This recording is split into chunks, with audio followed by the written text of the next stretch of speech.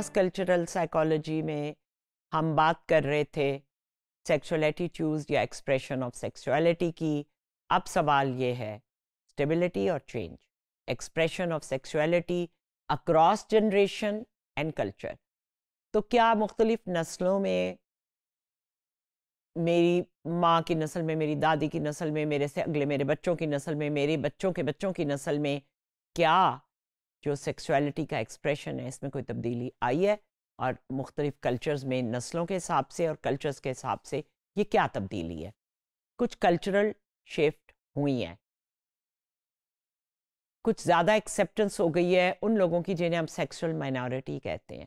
Remember majority वो है जिसको हेट्रोसेक्सुअल कहते हैं, यानी मर्द का, औरत को पसंद करना और औरत का मर्द को, जो कि फितरत का या हिस्ट्री में शुरू से एक तरीका है। कुछ लोग ऐसे होते हैं जिनके साथ ये केस नहीं होता और ये भी हिस्ट्री में हमेशा से है।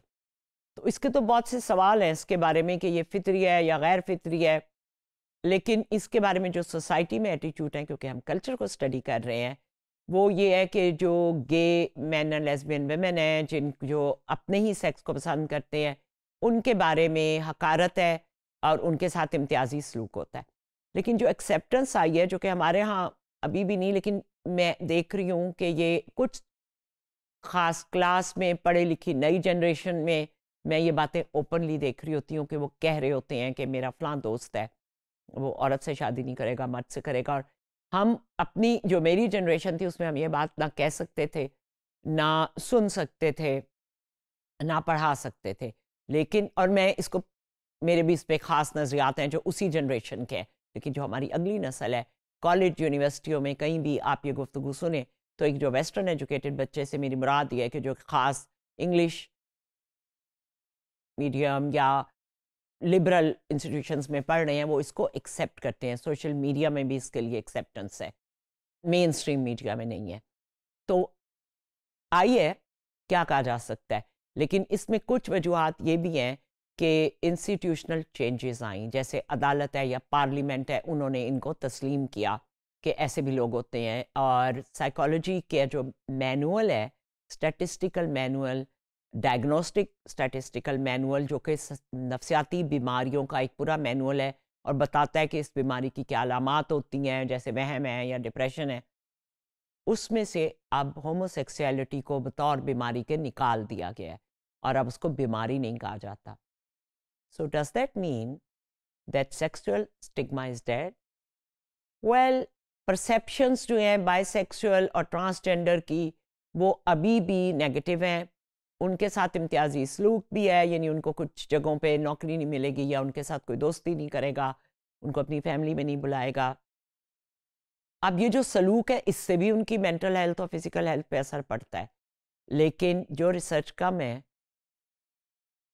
जिसको नहीं देखते साइकोलॉजी वो ये है कि क्या जो उनकी नौयत है सेक्सुअल ओरिएंटेशन की और जो उसकी वजह से वो एक्टिविटी करते हैं, क्या उससे भी उनकी मेंटल और फ़िज़िकल हेल्थ पे असर पड़ता है?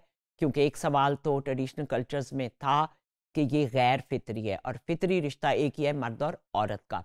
लेकिन जितने पीछे आप हिस्ट्री में जाए, आपको ये चीज़ भी मिलती है। तो खैर ये लंबी एक दास्तान है इंसानियत की, जिसमें कुछ बातें समझ ही में नहीं आती। अगर फितरी है तो सज़ा किस बात की? और अगर फितरी नहीं है तो फिर कैसे आती है इंसानों में? लो एंड कॉक ने जो सोशोलॉजिस्ट है, उन्होंने कहा कि जो एशियन वेमेन है, वो अपने अंदर वो जो जिनसी जज्बा है, उसके ना होने को एबनॉर्मल नहीं समझती। जबकि जो ट्रेडिशनल सोसाइटी से हट के जाएँ तो वेस्टर्न में एक एबनॉर्मल बात होगी। एशियन वेमेन ये भी समझती हैं कि उनको अपने जज्बात की तस्कीन का हक नहीं है। तो एक, ये बातें हैं। आखिरी बात, ज़रा सेंसिटिव है, मसला है मर्दानगी का। बांग्लादेश में स्टडी हुई तो उन्होंने कहा कि वो औरत पे जो उनका पावर है उसको वो नेचुरल और नॉर्मल समझते हैं। जो सेक्स की एक्टिविटी है, उसको वो एक गेम या खेल के तौर पे लेते हैं जिसमें उनके लिए पावर है और ये गेम वाहिद गेम है जिसमें मर्द औरत से हार जाता है। ये एक स्टडी है, मैं उसको डिस्क्राइब कर रही हूँ जब उन्होंने बांग्लादेशी को स्टडी किया। और प्रॉबेबली बहुत से कल्चर जो बांग्लादेश इंडिया पाकिस्तान में है, उसमें जो सेक्सुअल एक्टिविटी के बारे में मर्दों के और औरतों के नज़रियात हैं और जिस तरह मर्द उसको एक मर्दानगी की अलामत समझते हैं, वो हमें मिलेगा रिसर्च में। और इस बात से शर्म आती है किसी मर्द को कि उसके अंदर ये वाली मर्दानगी मिसिंग हो। हालाँकि ये कोई उसका कसूर नहीं है। उसमें एक परफॉर्मेंस का एलिमेंट आता है। फिर अगर कोई वीकनेस है, ये डिसफंक्शन है, और ये भी शर्माने की बात नहीं, क्योंकि हमारी दीवारों पे और हमारे अखबारों में जब बचपन से मैं देख रही हूँ, मर्दाना कमज़ोरी लिखा हुआ होता है। तो क्या बात है? है तो सही ना, लोग उसके लिए गलत डॉक्टर्स और गलत हकीमों के जा रहे होते हैं बट इट्स अ प्रॉब्लम तो उसके साथ ना बहुत शेम अटैच्ड है। उसके साथ एक मुस्लिम मैन जो है यूके में उन पर स्टडी हुई थी कि वो इसको एक बड़ा शर्मिंदगी का बायस समझते हैं। और कई लोग ये भी समझते हैं कुछ कल्चर्स में कि ये तो खुदा की तरफ़ से कोई सज़ा होती है कि आपके अंदर ये वाली कमी हो।